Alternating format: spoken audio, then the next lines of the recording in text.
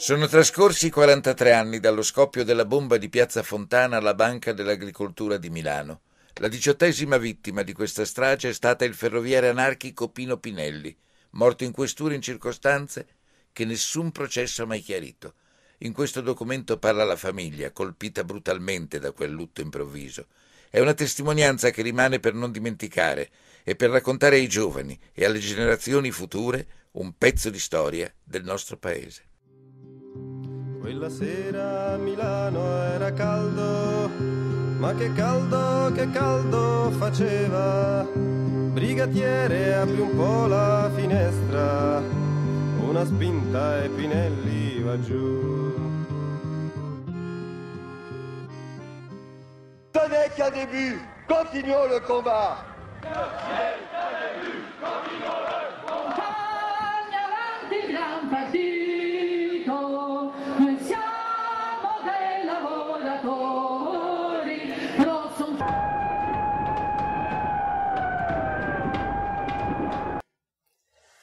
Clima del 1969.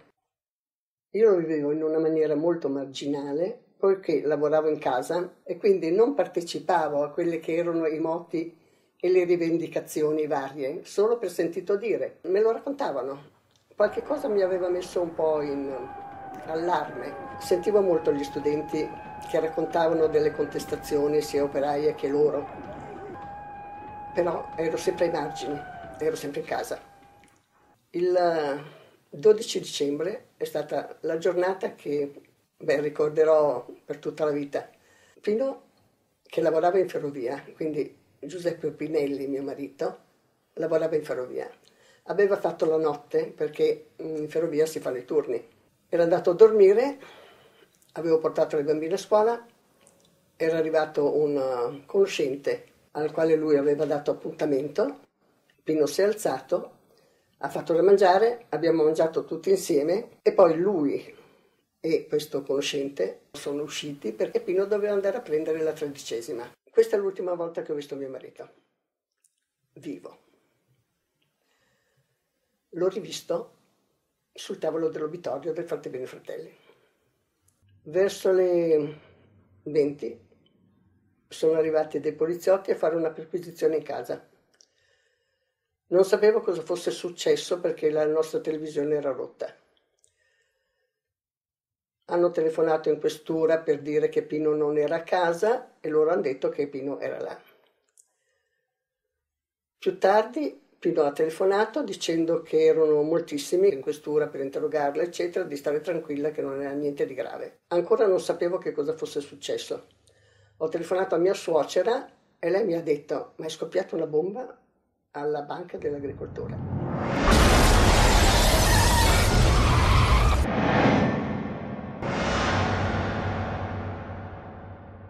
Poi dopo verso mezzanotte sono arrivati questi due giornalisti che mi hanno detto che mio marito era caduto da una finestra.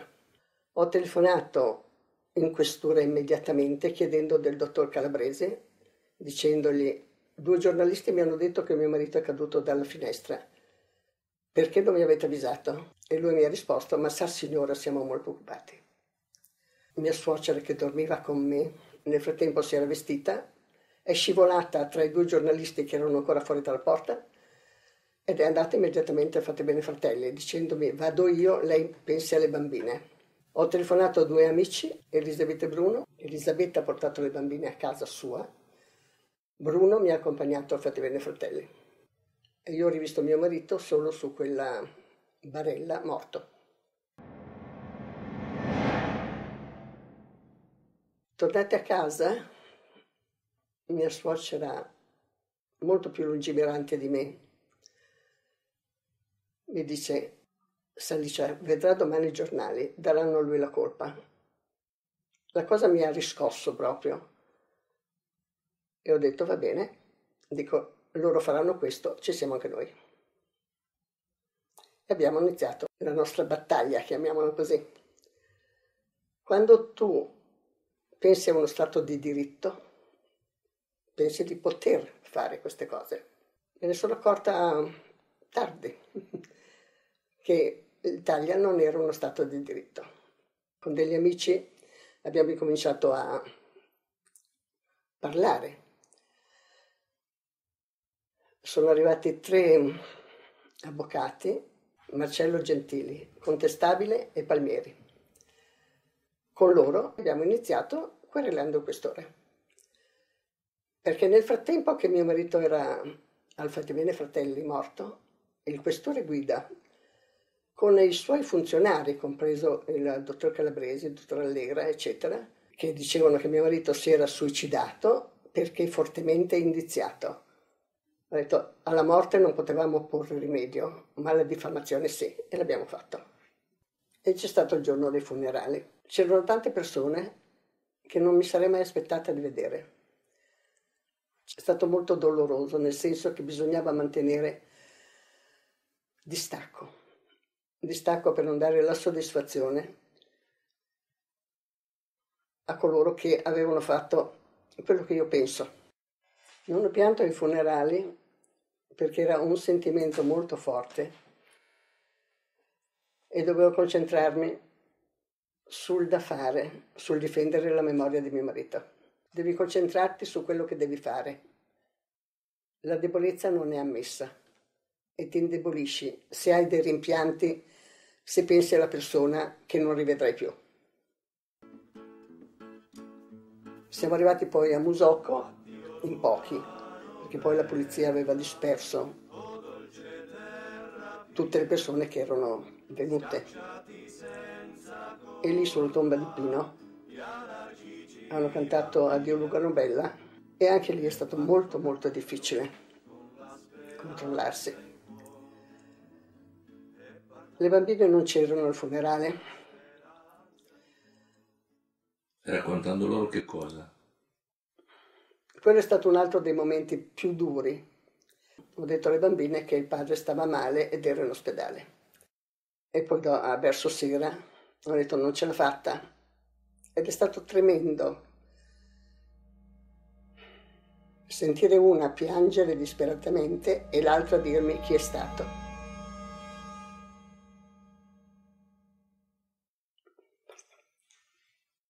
Signora Pinelli, lei comunque in tutti questi anni non ha mai avuto giustizia, nel senso che un processo effettivo sulle cause della morte di suo marito non c'è mai stato. No, non c'è mai stato. Noi non abbiamo mai avuto un processo. L'unico è stato quello di lotta continua, che per conto mio questa campagna fatta contro il commissario Calabresi era appunto per arrivare a un processo secondo il mio parere, stavano vincendo quelli di lotta continua. Il professor Baldelli sarebbe stato assolto. Hanno ammazzato Calabresi e per conto mio non sono state le tre persone che sono state condannate. Rispetto ed omaggio dunque per la figura di un innocente, Giuseppe Pinelli, che fu vittima due volte. Lo Stato, nella persona del presidente napolitano, ha riconosciuto nella giornata del 7 maggio del 2009, dopo 40 anni, l'assurda morte di Pino e il non coinvolgimento in nessuna trama eversiva. Di cui va riaffermata e onorata la linearità, sottraendolo alla rimozione e all'oblio. Ho sofferto moltissimo, ma nonostante ciò continuo a credere in uno Stato di diritto e che la giustizia sia, diventi veramente giustizia. Anche per tutti gli altri casi che sono successi in Italia che hanno veramente sconvolto l'opinione pubblica. Quella sera a Milano era caldo, ma che caldo, che caldo faceva. Brigatiere apri un po' la finestra, una spinta e Pinelli va giù.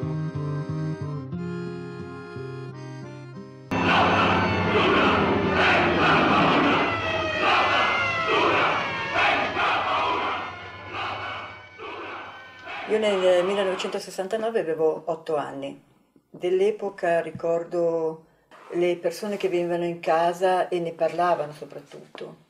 Mi ricordo che in quell'anno mm, mio padre stava molto di più fuori di casa. E mio padre, Giuseppe Pinelli, era nato nel 28 a Milano da una famiglia operaia Molto presto dovette abbandonare gli studi per aiutare eh, i genitori. Conosceva molte persone, era impegnato in diversi ambienti, non solo nell'ambiente anarchico, eh, tanto che i primi che si mossero a fianco a mia mamma furono um, cattolici, cattolici del dissenso, eh, assistenti universitari dell'Università Cattolica, che avevano conosciuto Pino frequentando la nostra casa, facendosi scrivere a macchina da Licia le tesi di laurea e le loro, le, le loro relazioni. A 16 anni era stata staffetta partigiana nella Brigata Franco.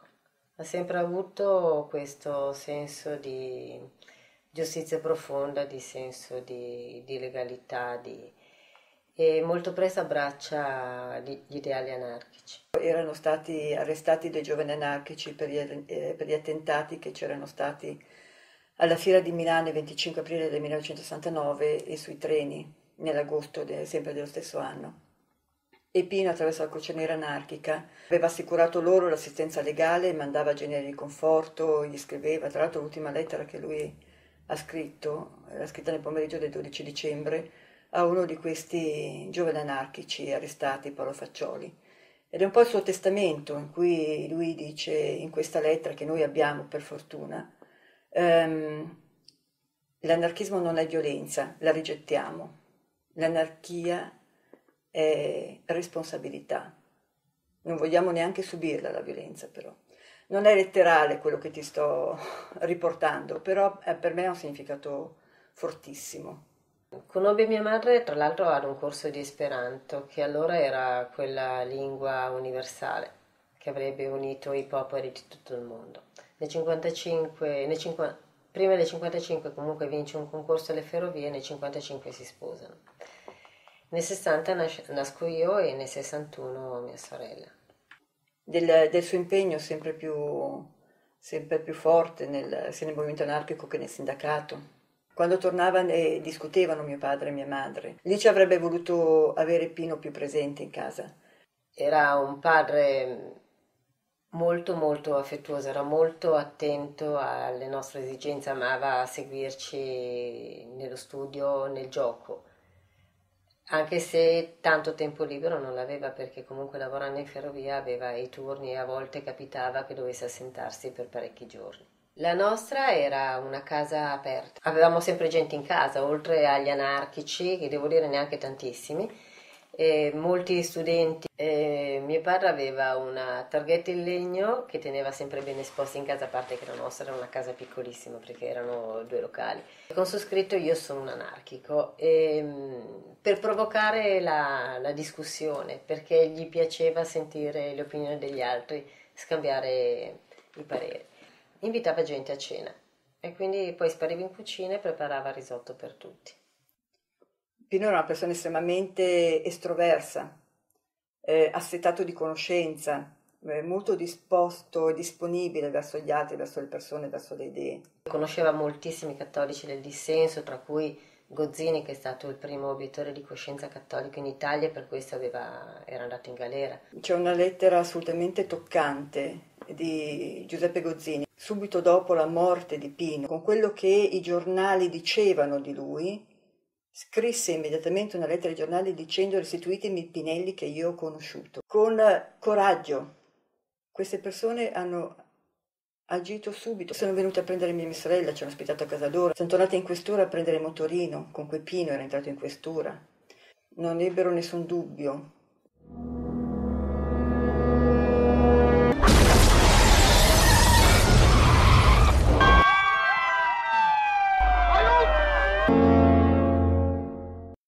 quel 12 dicembre ricordo che io e mia sorella stavamo correndo a casa perché mio padre doveva essere smontato dalla notte quindi avremmo dovuto trovarlo a casa. Di quel 12 dicembre mi ricordo noi che torniamo a casa e, e facciamo le scale di corsa. Arrivato alla nostra porta, la porta era spalancata e ci sono delle persone degli, degli uomini che stanno frugando dappertutto. La porta era spalancata e io mi ricordo di essere rimasta ferma sulla soglia della porta e aver assistito a questo sfacelo che c'era, c'era roba dappertutto, tutta buttata per terra. E aprono, aprono tutto, eh, la casa era molto piccola, tirano fuori tutto. Il poliziotto dice a un altro brigadiere qui ci sono ancora carte, c'è ancora tanta carta. Eh, mia madre che cerca di spiegare che sono tesi di laurea che le sono particolarmente piaciute, che le sono state eh, date dagli studenti. Comunque loro portano via tantissima carta, aprono i regali di Natale che erano stati nascosti dentro l'armadio. Poi, quando se ne sono andati, mi ricordo mia madre che si era messa con mia nonna, la madre di, di Pino, a mettere a posto la casa e ci diede i giocattoli. La sera poi mia madre eh, ci spiegò che, non, che il nostro padre non tornava perché era stato fermato, che era successo un fatto gravissimo, che c'erano stati dei morti, ma che nostro padre non c'entrava assolutamente niente e disse gli faranno prendere un bello spaghetto e poi lo faranno tornare a casa. E mi ricordo molto bene questa frase perché io le chiesi che cosa voleva dire prendere uno spaghetto. Per distrarci ci, ci lesse il Topolino e nel Topolino c'era un quiz, se lo sai rispondi, e avevamo risposto a quelle domande e una non riuscivamo a risolverla e lo abbiamo detto, beh quando torna papà poi, poi la, Dopo tre giorni, la sera del 15 dicembre, eh, veniamo svegliate da mia madre che ci fa vestire e aveva chiamato dei nostri amici, eh, Bruno e Elisabetta, e ci portarono a casa loro.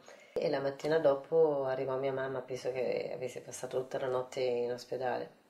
E, mm, ci disse, ci prese in disparte e ci disse che mio padre stava molto male e non si sa se ce l'avrebbe fatta e ci disse di pregare. E però avevo intuito che c'era qualcosa di, di, più, di più grave, tant'è vero che chiese a mia madre chi era stato a fargli male. E mia madre, mia madre disse dei poliziotti. Noi non partecipammo ai funerali di, di mio padre quando tornò a casa, eh, corremmo incontro a mia madre e io chiedendole come sta papà, perché lei ci aveva detto che papà era grave, era in ospedale. E mia sorella mi, dis- eh, mi disse papà è morto. Quando Pino è volato dalla finestra, è precipitato nel cortile della questura, nessuno degli agenti presenti nella stanza presente in questura, è sceso nel cortile. Era morto nessuno, un ferroviere, un anarchico. Diranno Alice, non pensavamo che un anarchico avesse tanti amici. E dopo la sua morte questo si è, si è visto, si è sentito. Non nell'immediato. Nell'immediato ci sono state le dichiarazioni infamanti del questore in questa conferenza stampa immediatamente dopo la morte di Pino in cui lo si incolpava della di, di essersi suicidato a dimostrazione della colpevolezza. Tutte le denunce presentate da Alice sono finite in archiviazioni, su cui non si è mai indagato perché il primo giudice ad essere uscito sul luogo della sua morte è stato il giudice D'Ambrosio a tre anni di distanza dal fatto. Nessuno fu mai chiamato a rispondere della morte di un innocente trattenuto illegalmente in questura per tre giorni.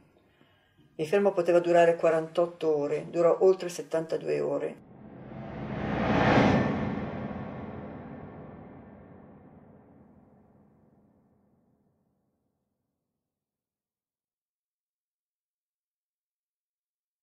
Silvia, come ho chiesto a sua madre, un processo sulla morte di vostro padre, di Pino Pinelli, voi non l'avete mai avuto. No, perché l'ultima istruttoria, quella condotta dal giudice Gerardo D'Ambrosio, si è chiusa con una sentenza di malore attivo, cioè nel senso che mio padre non si è suicidato ma non l'hanno neanche buttato ed è di che cosa sia morto ancora non lo sappiamo e non sappiamo che cosa sia avvenuto in quella stanza. Rispetto ed omaggio dunque per la figura di un innocente, Giuseppe Pinelli, che fu vittima due volte. Quando è giunto completamente inaspettato l'invito del Presidente della Repubblica, erano anni che di Pino non si parlava più, si cercava di non parlarne più. E lì abbiamo potuto ascoltare le parole che il Presidente della Repubblica ha detto davanti a tutta l'Italia, davanti a tutto il mondo, con estremo coraggio. Ha parlato di, di mio padre come di un innocente vittima due volte, di infondati sospetti di un'assurda fine. Noi abbiamo avuto dopo 40 anni il riconoscimento dal capo dello Stato, ma noi penso che il riconoscimento più grande sia venuto dalle persone che mio padre non l'hanno mai dimenticato, che ci hanno seguito e che continuano a, a cercare che non si dimentichi e che si arrivi un giorno a sapere effettivamente cosa è successo quella notte. Quando ero piccola eh, pensavo un giorno ci chiederanno scusa e, e quel giorno è arrivato. Di cui va riaffermata e onorata la linearità, sottraendolo alla rimozione e all'oblio. In quell'occasione abbiamo incontrato i familiari delle vittime di Piazza Fontana, perché le nostre storie avevano percorso fino a quel momento binari paralleli, ma non si erano mai incontrati. Ed è stato un incontro estremamente significativo. Eh, ci siamo eh, riconosciuti eh, in una storia di verità e giustizia negate. Eh, noi abbiamo sempre avuto lo Stato contro. Loro non pensavano, ma hanno dovuto riconoscere che nello Stato c'è chi ha eh, coperto, depistato e chi non gli ha voluto dare una verità, una giustizia. Nella sentenza del 2005 eh, vengono assolti tutti gli imputati, indicati in Freda e Ventura i responsabili della strage, non più processabili perché già assolti in precedenti procedimenti, e i familiari delle vittime di Piazza Fontana vengono condannati a pagare le spese processuali. E ciò nonostante lei, Claudio Pinelli, ha fiducia ancora nella giustizia italiana? È molto difficile come domanda. Io ho fiducia nella, nella verità. C'è una verità storica e noi portiamo avanti la verità storica di fronte a una mancata verità giudiziaria su tanti morti e su tutte le stragi. In Piazza Fontana ricordano mio padre due lapidi, una che fu posta dagli studenti dei democratici milanesi nel 76 al termine di una manifestazione, che dice a Giuseppe Pinelli ucciso innocente nel locale della questura di Milano, e un'altra invece che venne posta nel 2003 dal sindaco Albertini, cioè dal comune di Milano, dove dice... Mh, ferroviere anarchico è morto tragicamente nei locali della questura di Milano. Vorrei leggere questa lettera che Giuseppe Gozzini, che è stato il primo obiettore di coscienza cattolico in Italia, che aveva conosciuto papà, scrisse subito dopo la morte di, di Pino e, e la mandò ai giornali e la lettera venne pubblicata. Il mio primo incontro con Pinelli risale ad alcuni anni fa. Sapeva che ero stato il primo obiettore di coscienza cattolico in Italia. Conosceva, e non per sentito dire, movimenti e gruppi che si ispiravano alla non violenza e voleva discutere con me sulla possibilità che la non violenza diventasse strumento d'azione e l'obiezione di coscienza stile di vita, impegno sociale permanente. Poi ci vedemmo in molte altre occasioni e i punti fermi della nostra amicizia divennero Don Primo Mazzolari e Don Lorenzo Milani, due preti scomodi che hanno lasciato il segno e non solo nella chiesa. Viveva del suo lavoro, povero come gli uccelli dell'aria, solido negli affetti, assetato di amicizie, e gli amici li scoteva con la sua inesauribile carica umana. Le etichette non mi sono mai piaciute. Quella che hanno appioppato a Pinelli, anarchico individualista, è Melensa, per non dire sconcia. Si è sempre battuto, infatti, contro l'individualismo delle coscienze addomesticate. Lui, ateo, aiutava i cristiani a credere. Non ignorava le radici sociali dell'ingiustizia, ma non aveva fiducia nei mutamenti radicali, nelle rivoluzioni che lasciano gli uomini come prima. Paziente, candido, scoperto nel suo quotidiano impegno, era lontano dagli estremismi alla moda. Poi d'improvviso l'arresto, gli interrogatori, la tragica fine. Dalle pagine dei giornali mi appare la sua immagine deformata in una lente mostruosa. Era un bravo ragazzo, scrivono, però e le fantasie si accendono. Ma quali sono i veri indizi, i sospetti fondati? Voglio che mi sia restituita la memoria del Pinelli, quello vero che io ho conosciuto. Giuseppe Gozzini, Milano, dicembre 1969. Sor questore io ce l'ho già detto, le ripeto che sono innocente. Anarchia non vuol dire bombe, ma giustizia nella libertà.